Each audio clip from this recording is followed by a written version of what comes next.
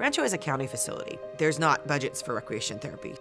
And that's where Las Floristas steps in. They provide money for our outings for our recreational therapy. My sole budget is Las Floristas. They provide the van for our recreational therapy so we can take the kids to the mall, to the movies, to the beach. Go sightsee, see, you know, the great things in Los Angeles. And we have the beach wheelchairs that we take on the sand. Wheelchairs with these big tires that can be pushed down to the water. We get to reintegrate the kids back into the community. To go out in the community and do the things that they did before they got hurt and to feel normal again.